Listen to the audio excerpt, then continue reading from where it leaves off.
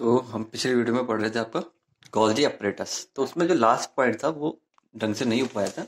इसमें ये था कि आपको जो सिंथेसिस जो गॉल्जी बॉडी है, आपका एक तो क्या करता है? पैकेजिंग प्रोटीन को पैक करेगा वेसिकल फॉर्म में, गोला। लेकिन उसमें सिंथेसिस भी एक्स्ट्रा करता है वो। ग्लाइकोप्रोटीन और ग्लाइकोलिपिड भी ये बनाता है आपका। ठीक है तो यहाँ पे आपका गॉल्जी खत्म हो गया था। नेक्स्ट है सेल के अंदर, वो है लाइसोसोम तो जो आपका लाइसोसोम भी होता है, वो ऐसा स्ट्रक्चर होता है वेसिकल की तरह स्ट्रक्चर होता है, बिल्कुल गोल, ठीक है?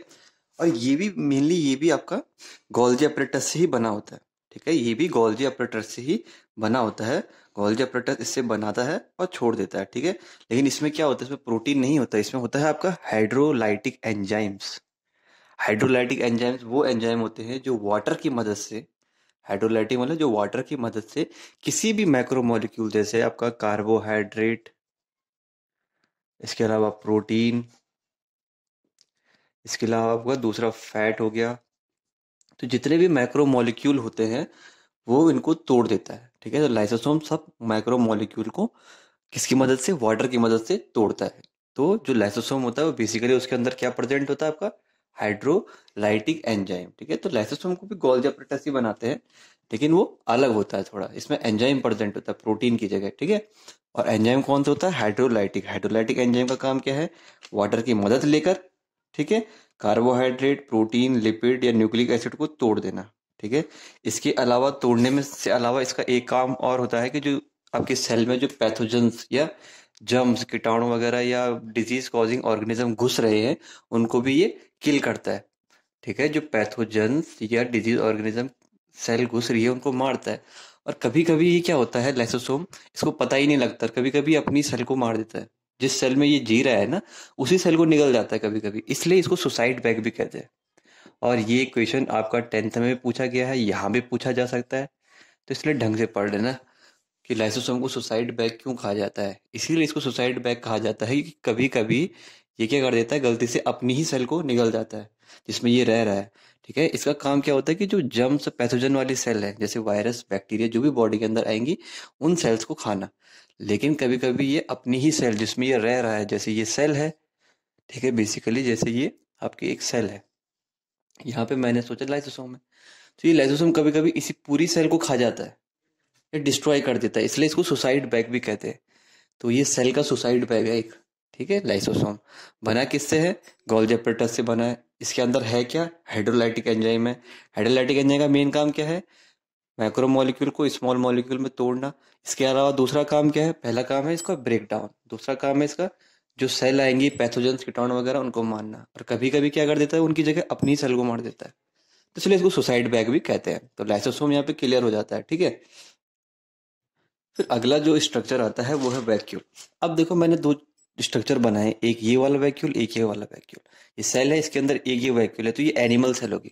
क्योंकि एनिमल सेल में वैक्यूल बहुत छोटे होते हैं, बिल्कुल नाम के होते हैं। लेकिन जो प्लांट सेल है, उसका जो 90 परसेंट एरिया है, वो वैक्यूल से कवर होता है। इतना बड़ा वैक्यूल होता है। प्लांट सेल में, ध्यान में रखना आप। प्लांट सेल में जो वैक्यूल एक केविटी एक थैली होती है वैक्यूल मतलब केविटी खाली जगह है। केविटी जो घिरा हुआ है। ये जो केविटी है पूरी ये वैक्यूल है, ये थैली है, ये 90 परसेंट भाग में होता है सेल के प्लांट में। एनिमल में बहुत छोटा, कुछ है भी नहीं ये लगा रहा और वैक्यूल का काम क्या है? देखो, एक तो इसमें वाटर प्रेजेंट होता, इसमें मॉलिक्यूल आयंस होंगे, इसमें एक्सक्रेटरी मटेरियल जो वेस्ट प्रोडक्ट है सेल का, वो भी इसी के अंदर होंगे, ठीक है? तो सारा जो मटेरियल है वाटर वेस्ट मटेरियल सेल का एक्सक्रेटरी जो बाहर फेंकने वाला मटेरियल है, ये आयंस मॉलिक्यूल है, इसी के अंदर प्रेजेंट होते हैं। और जो ये वैक्यूल होता है, इसकी जो लेयर होती है, इसको बोलते हैं हम टोनोप्लास्ट क्या बोलते हैं, नाम याद रखना इसका बस।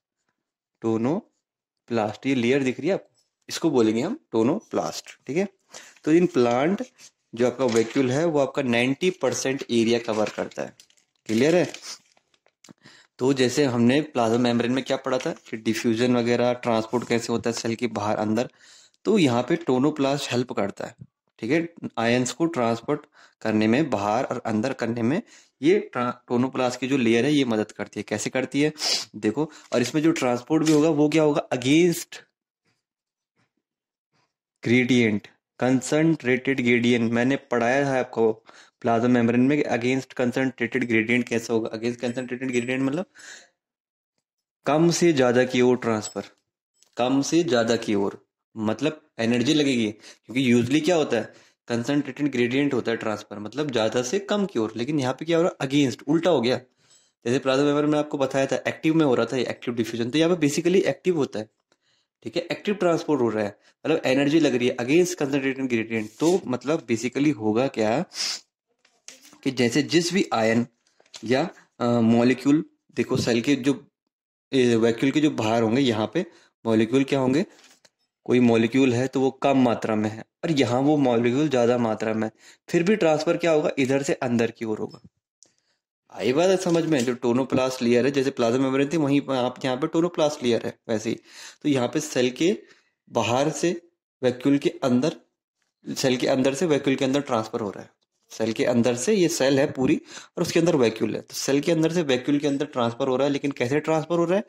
अगेंस्ट कंसंट्रेटेड ग्रेडियंट मतलब कम से ज़्यादा की ओर, कोई भी मॉलिक्यूल कम से ज़्यादा की ओर मूव करेगा, ठीक है? इसलिए जो साइटो आपका वैक्यूल है, उसकी कंसंट्रेशन क्या रहती है? हर मॉलिक्यूल के लिए ज़्यादा रहती है। तो साइटोप्लाज्मा से इसकी कंसंट्रेशन हर मॉलिक्यूल के लिए ज़्यादा होगी, क्योंकि ये जो आपकी टोनोप्लास्ट लेयर है, ये क्या करवाएगी इससे? एक्टिव क्या कराएगी? एक्टिव ट्रांसपोर्ट करवाएगी, ठीक है? मैंने क्या बोला है? देखो, ध्यान से देखो दोबारा। इसको बोलते हैं हम साइटोप्लाज्मा पूरा एरिया बताया था। अब मैंने बोला यहाँ पे वैक्यूल भी है, ये वैक्यूल है। तो मैंने क्या बोला कि जो साइटोप्लाज्मा में ये है मोलिक्यूल कोई भी मोलिक्यूल कोई भी आयन है, और इसके अंदर वो बहुत सारे आयन है वही, लेकिन फिर भी ट्रांसफ़र कैसे हो रहा है? इधर साइटोप्लाज्मा से वैक्यूल के अंदर। मतलब कंसंट्रेटेड ग्रेडियंट के ठीक उल्टा हो जा रहा है। कंसंट्रेटेड ग्रेडियंट में क्या होगा? इधर से बाहर आना चाहिए था, ज़्यादा से बाहर की तरफ़ आना चाहिए था। मतलब साइटोप्लाज्मा में आना चाहिए था वैक्यूल के अंदर से। लेकिन ऐसा नहीं हो रहा बल्कि साइटोप्लाज्मा से वैक्यूल में जा रहा है। इसमें क्या होगा, जो कंसंट्रेशन रहेगी मोलिक्यूल की, वो वैक्यूल में ज़्यादा होगी और साइटोप्लाज्मा में कम होगी, क्योंकि यहाँ से भी अंदर ही की तरफ़ मूव करेगा। ठीक है? तो ऐसे आपका अमीबा हो गया, प्रोटिस्टा हो गया, जिसमें भी ये वैक्यूल प्रेजेंट होते हैं। तो अमीबा में तो इस फॉर्म में भी होता है, जैसे आपने देखा होगा, अमीबा या पैरामीशियम, फ़ूड वैक्यूल, प्रोटिस्टा। आपने पैरामीशियम देखा होगा तो पैरामीशियम कुछ इस तरीके से स्ट्रक्चर होता है उसका। इस तरीके से स्ट्रक्चर होता है पैरामीशियम का। तो उसमें जो वैक्यूल होते हैं, वो फ़ूड वैक्यूल होते हैं ज़्यादा। छोटे छोटे होते हैं, लेकिन फ़ूड मतलब उनके अंदर फ़ूड होता है। मतलब अमीबा ऐसे होता है स्ट्रक्चर पैरामीशियम, और वो जैसे बाहर खाना आया, इसको वो निगल जाते हैं, ऐसे अंदर ले लेते हैं तो ऐसे फ़ूड वैक्यूल बन जाते हैं। तो इसमें जो वैक्यूल होंगे, वो फ़ूड वैक्यूल बहुत छोटे होंगे। थोड़ा ये बता रखा है बस एक दो के बारे में, ठीक है? और अमीबा में जो वैक्यूल होंगे, वो मेन काम होता है उनका एक्सक्रीशन मतलब बाहर निकालना वेस्ट प्रोडक्ट को बाहर निकालना। लेकिन जो प्लांट में होंगे वैक्यूल, उनका काम बहुत ज़्यादा उनका काम है स्टोरेज का वाटर स्टोरेज आयन स्टोरेज और उसके अलावा वेस्ट प्रोडक्ट का भी स्टोरेज करके रखता है अपने पास। फिर उनको बाहर फेंकने में मदद करेगा। तो इसमें बहुत सारे काम है प्लांट में, ठीक है?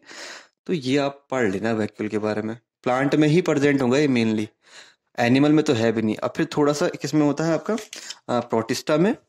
अपने फाइलम पहले पढ़ चुके तो प्रोटिस्टा में और थोड़ा किसमें अमीबा में थोड़ा सा प्रेजेंट होता है वैक्यूल।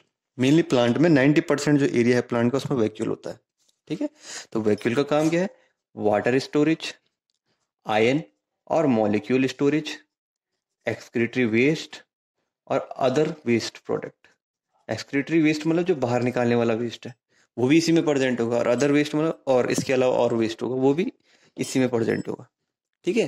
तो ये यहाँ पे आपका वैक्यूल भी खत्म हो गया है, ठीक है? अब नेक्स्ट जो आपका है वो है गया आपका माइटोकॉन्ड्रिया ठीक है?